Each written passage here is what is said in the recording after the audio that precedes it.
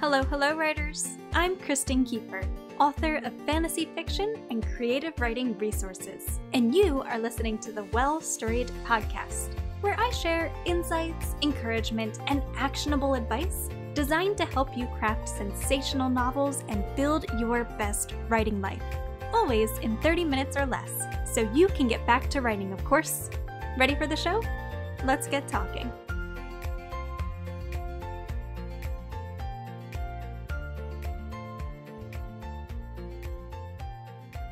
Writers, grab a cup of coffee, settle in, and let's get started with today's episode of the Well Storied podcast. I'm your host, Kristen Kieffer, and today is Monday, July 3rd, 2017. If you are considering which publishing path is right for you, pursuing a traditional book deal, or going the self publishing route, then today's episode on the pros and cons of self publishing your fiction is going to be a great listen. If you would like to read along as you listen in, simply head on over to well-storied.com slash self-pub-pros. I'll leave that link for you in today's episode description. All right, without any further ado, let's dive in. Think you might like to self publish your book? Great! There are many valid reasons to opt out of the traditional publishing industry in favor of sharing your work independently. But to truly ensure that self publishing is right for you, it's important to understand the advantages and disadvantages of both publication paths. In today's episode, we're going to explore the pros and cons of independent publishing, the chosen path to publication for millions of writers worldwide myself included. You can also check out our episode on the pros and cons of pursuing a traditional book deal using the link in today's episode transcript. All set? Good. Let's get started by first talking about the advantages of self publishing. Just as one man's trash is another man's treasure, the pros and cons of traditional and independent publishing can be somewhat subjective. Nevertheless, here are nine reasons that many writers are drawn to the idea of self publishing their work. The first advantage complete creative control. Traditional publishing is an industry, which means most publishers are far more concerned with a book's marketability than with the author's creative vision. Often, this leaves traditionally published authors with little to no say over their book's title, cover design, or back cover blurb. A publisher may even insist upon manuscript revisions that authors aren't comfortable making. This is an understandably appalling reality for many writers. No author on earth wants their literary drama wrapped up in pink glitter or their favorite emotional subplot cut for the sake of slicing off more zombie heads. Thankfully, independent authors don't have to worry about sacrificing their creative visions for misguided marketability. Writers who choose to self publish retain full creative control over the content and presentation of their stories. Advantage number two a hand picked publishing team. Speaking of creative control, self published authors have the responsibility of handpicking their publishing team that is, the freelance editors, cover designers, formatters, etc., who will work on their book. While some writers might see this responsibility as a burden, others will sleep better at night knowing they have full control over who they work with to bring their stories to life. Advantage number three higher royalty rates. Traditionally published authors typically take home 15 to 25% of their book's revenue after the book earns out, meaning after sales exceed the initial advance they receive upon signing their book deal. And that's before their literary agent takes their own 15% cut. So, when all is said and done, a traditionally published author may earn as little as 12 and a half cents for every dollar their book rakes in. It's no wonder that many writers are drawn to the 60 to 80% royalty rates that self published authors typically enjoy. Advantage number four little to no deadline stress. publishers maintain fairly strict publication timelines via deadlines by which authors must submit completed drafts of their manuscripts.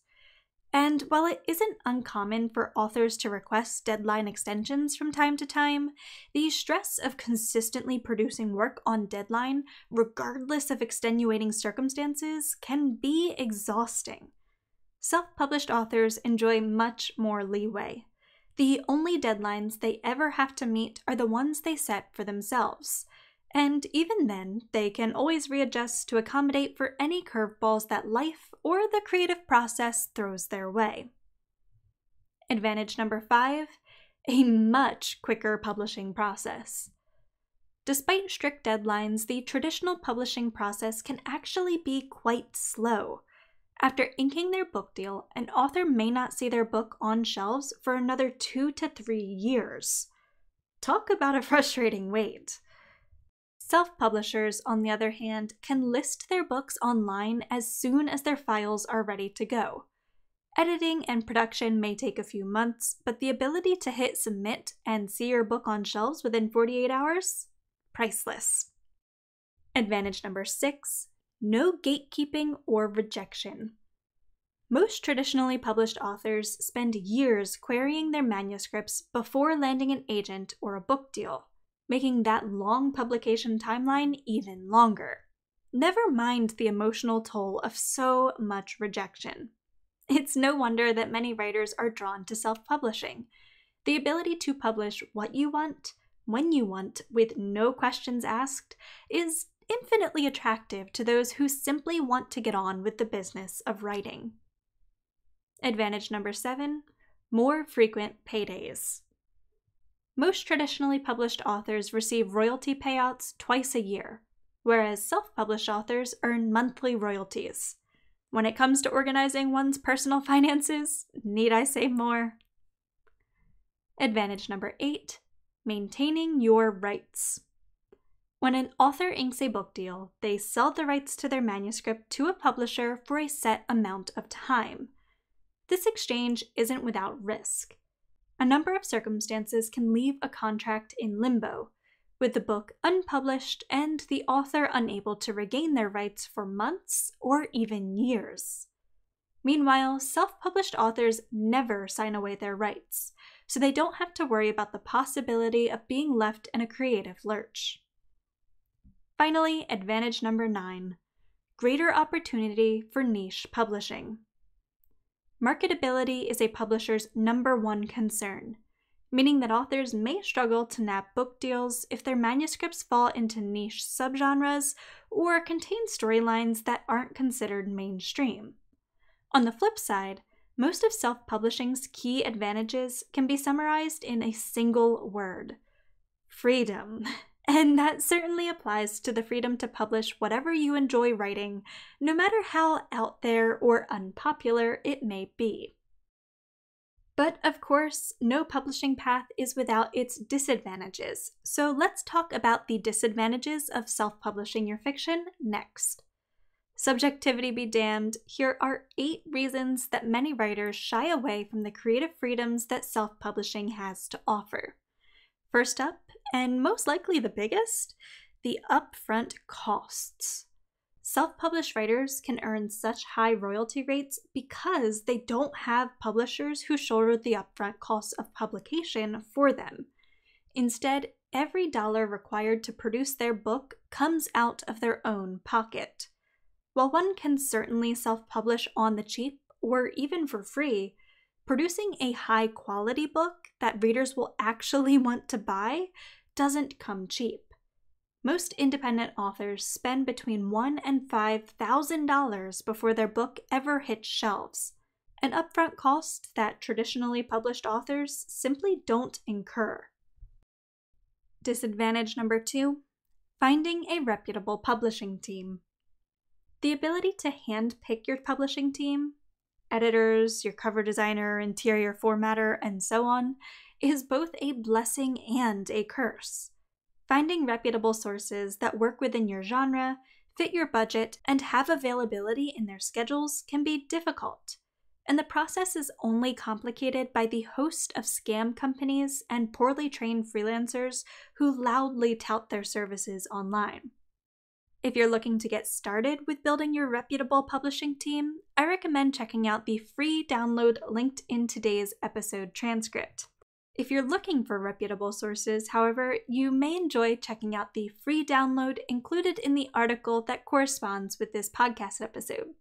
The Ultimate Self Publishing Toolkit is a directory of editing, formatting, cover design, and distribution options for self published authors that won't have you wanting to tear out your hair as you seek to put your publishing team and publishing plan into action. But back to our disadvantages of self publishing. Number three, potential financial loss. Because self published authors pay upfront to produce their books, they may face financial loss if they fail to recoup their expenses via sales. This isn't a concern that traditionally published authors ever have to face, given that their publisher covers all production costs for them. Disadvantage number four self publishing stigma. Most readers now buy books online, and very few take the time to determine whether or not a book is self published. So long as a book is professionally produced and has an engaging blurb, readers are likely to gobble it up. Nevertheless, independent authors still face some degree of stigma concerning the legitimacy of their work, and that stigma can be easy to internalize. I talk at length about how self publishing stigma can impact writers' egos in our episode on determining which publishing path is right for you. You can find the link to that included in today's episode transcript. Disadvantage number five no agent support. Literary agents don't just negotiate book deals. They help authors forge their writing careers by providing advice and encouragement, fighting for their financial and legal rights, and pushing for valuable subsidiary contracts. Without external support, some self published authors may find it difficult to formulate a strong game plan for publishing success, as well as to expand their book's reach into foreign language markets and other subsidiary streams. Disadvantage number six less opportunity for acclaim. When most writers dream of successful writing careers, they envision their books on shelves worldwide, translated into a dozen languages. Then there are the bestseller lists, the book tours, the literary awards, and the adaptations. While most of these possibilities are indeed available to independent authors, they are also highly, highly improbable. Self publishing success typically has more to do with sales figures and financial stability than it does with literary acclaim. Disadvantage number seven the stress of running a business. Building a career as a self published author is very much an entrepreneurial act. The author is the brand, their books are the products, and readers are their customers. Every aspect of the small business, from product development to production, marketing, and financial accounting, is in the author's hands, and that can be an exhausting reality. While traditionally published authors face some of this responsibility, the extent to which they must operate entrepreneurially is limited by the aid of their literary agent and publisher. And finally, disadvantage number eight wading through a sea of fiction. While publishers can actively work to position a promising book as visibly as possible on the market, self published authors don't have this advantage.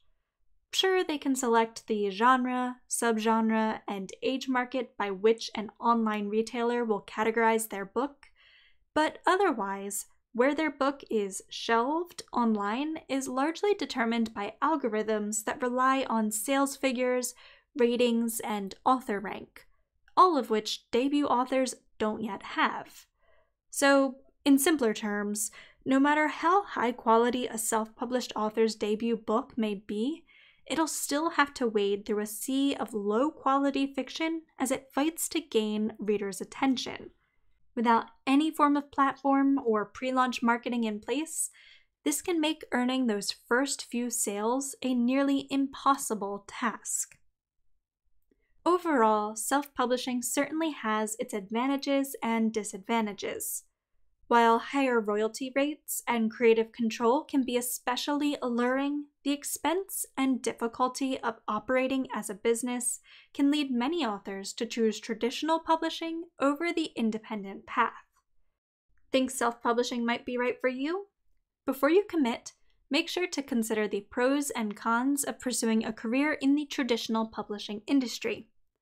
You may also wish to check out the other articles and episodes in our publishing blog series, which you can find at well-storied.com slash publishing. No matter which path you choose, I wish you nothing but success in your publishing journey, writer.